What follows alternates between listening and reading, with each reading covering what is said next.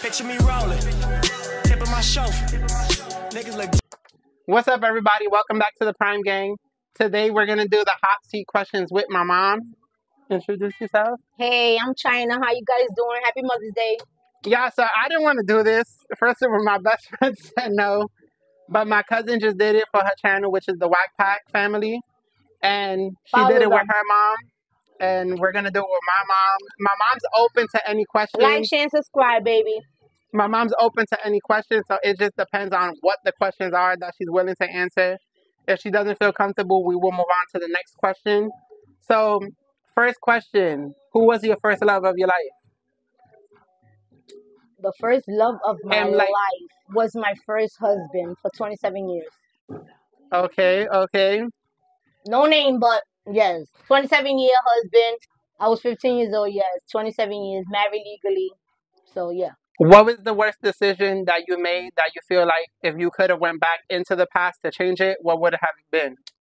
Um, I made excuses when I got pregnant at 17 and stopped school and continue my education. I would have been a nurse and also a lifeguard because I was already at the transition of doing that, but I couldn't finish because I got pregnant.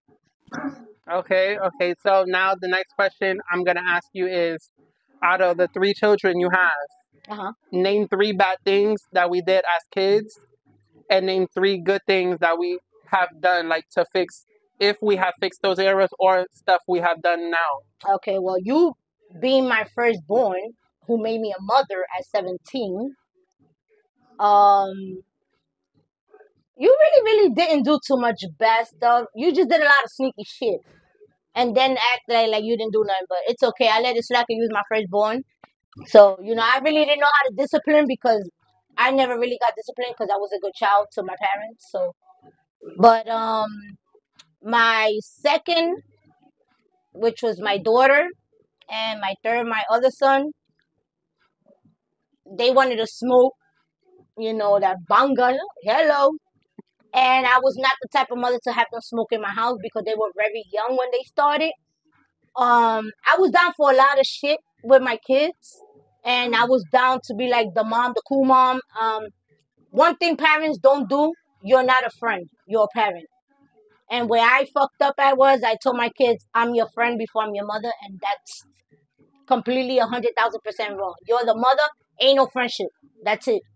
Um, but anyway, but my kids, my two youngest, they like to smoke weed at an early age. Um, my daughter came out at an early age that she liked it, you know, both men and women. It didn't bother me at all because we had that in the family at all. So, and we had a lot of issues growing up, my kids, because they felt that I was a fucked up mother because I didn't let them do that. So we had a lot of problems, fussing, fighting, etc., etc. But them being grown ups now, um, my daughter made me a grandmother. She has a daughter, which I already knew she was gonna have a daughter because it's a saying that us Puerto Ricans say: "You have a daughter is gonna teach you what you did to your mother. You're gonna learn it with your own child." So I knew she was gonna have a daughter. And my youngest, um, he's doing his thing now. You know, he got a job. He's moving forward. He's leaving all this gang life, all bullshit ass fake friends. You come back, they still in the same corner doing the same shit. No job, no money, no nothing. Um, my kids learn from their struggles. Um, cause I'll keep it a hundred. I threw my kids, my two youngest, out 13, 14 years old in the street. They had to learn. But I'm a hustler, and I taught my kids a lot of shit. You learn the street life, and you learn how to be, how you call it, uh, the house life. You know how to be a husband, a wife, uh, cook, clean. You don't need a man or a woman to you to cook and clean and all that. You do that on your own. At first, they didn't understand because they were young, and they had all these other people running in and out of their ears. You know, telling them otherwise. But as they grew older, and when I say older, I'm gonna say past 20. It took a long time. But me and my kids, you know, they apologize. I apologize to my kids also because us parents, we do a lot of shit that we don't remember or we let it slide or throw it under the rug, whatever you want to say. But I apologize also to my kids as a mom. And now, thank God that now my kids is all gonna be all three of them almost 30. And I'm gonna be almost 50. So my kids almost 30, all three of them, and Right now, they doing good. They all got jobs. They they moving forward with their career. They trying to do what they got to do. They apologize to me. I apologize to them, as it should be. Mother, father, whatever. Apologize and amend because you're here today. Tomorrow you're not. And once they close that casket, it doesn't matter if you cry, fuss, say I'm sorry. They're not gonna hear you. It's too late. You know. So do it while they still alive. You know, appreciate your parents, appreciate your kids because sometimes, like parents, to be honestly, because like you said, we a hundred on this. Us as parents, sometimes we just like whatever. They don't even know what the fuck they talking about. They didn't go through what we went through. I can't say that because in my life, I had a wonderful childhood. My parents gave me everything. I didn't have a stepmother or stepfather. You know, fortunately, my kids had that stepdad, which was my husband for 27 years, who took care of my kids. He don't have no kids on his own. He took care of my three kids and took care of me. You understand? So, like I said, you know, it's all you live and you learn. But the best thing to do is amend, amend your relationship with your kids. I don't care how bad it is. I don't care if your kid is a junkie, a prostitute. It don't matter. I don't care if your mother's a crackhead, a, a hoe, or, or whatever. Put that shit aside and build that relationship because trust me, when they close that casket, it's a whole different ballgame. Next question. Sorry, I took long, but go ahead. I have to throw this. Um, the next question: Name two things you loved about both of your parents. Uh, two things I loved about my parents was that they married for 32 years, and they definitely, definitely showed me how to be a wife because they showed me what it was to death do you part for better or worse. And definitely, my mom and my dad was married for 32 years. I didn't have no stepdad. I didn't have no stepmom. Um, maybe a little rocky relationship between my mom and my dad, but it doesn't matter because love conquered all that, and they still together. So my mom still with my dad until my dad passed away. Um, when my dad passed away, my mom's still single. You know, maybe a little flirty here, there, there, whatever. But my mom's still single, and she showed me how it is to be a mom, a mother, a grandmother, how to be loyal.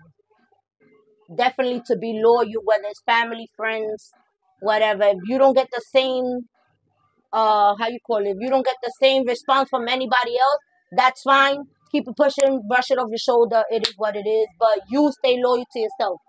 That's Um, it.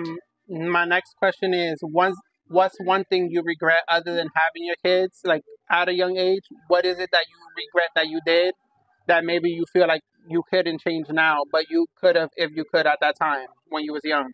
Well, first of all, I don't regret none of my kids. I'm not saying the kids part. I'm no, saying no, I know. I'm just saying I don't regret none of my kids. I had you at 17. I was a very, very young mom.